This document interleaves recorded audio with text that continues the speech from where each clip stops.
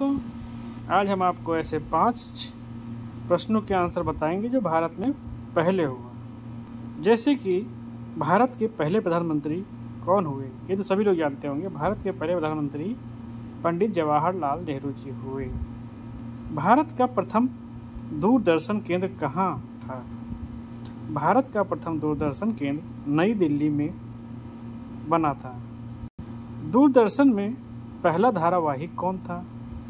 कौन सा था? दूरदर्शन में पहला धारावाहिक, हम लोग था। दूरदर्शन में पहली फ़िल्म कौन सी थी? दूरदर्शन में प्रथम फ़िल्म राजा हरिश्चंद्र थी।